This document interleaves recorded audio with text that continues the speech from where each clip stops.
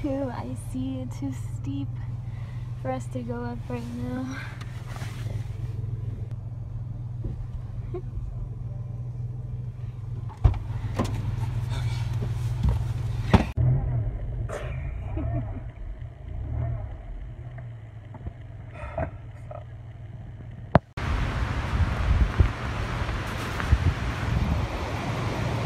It's so windy. A tree fell right here.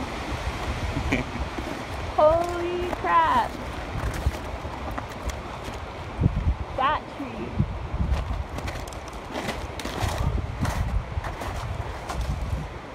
Wow.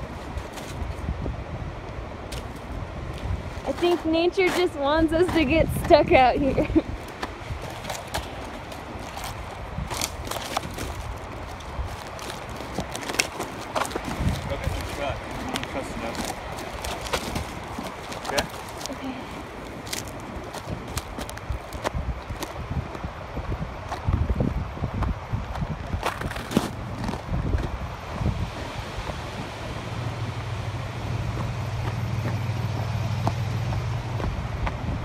This is crazy.